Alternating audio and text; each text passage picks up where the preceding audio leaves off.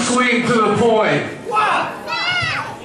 We all know it took like 20 people to beat Hojo Devlin the last show. He beat him one, two, three. Jerry, uh, Tony Schiavone, uh, I don't know how, I, I lost count how many title shots you gave your precious ego, uh, and, and he failed over and over and over, and he got shot after shot after shot.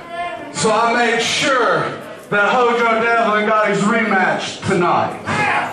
He didn't deserve it, stupid. Second of all, Chris Sollers come to me, asked me for a rematch for the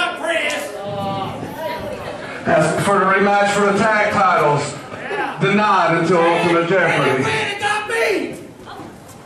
And however, at Ultimate Jeopardy, he'll get his rematch. And Ryan, they're going to have to put something on the line. Uh, But what, how'd Wait. they'll put the bats on the line. Third, we need a main event for Ultimate Jeopardy. Not you, surely.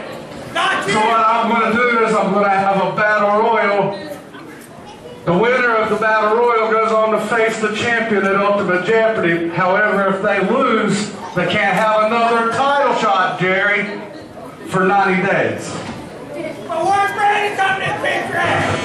You need to hush your mouth because I'm it, Keith Matthews, and I approve that. And we're going to start that battle royal now.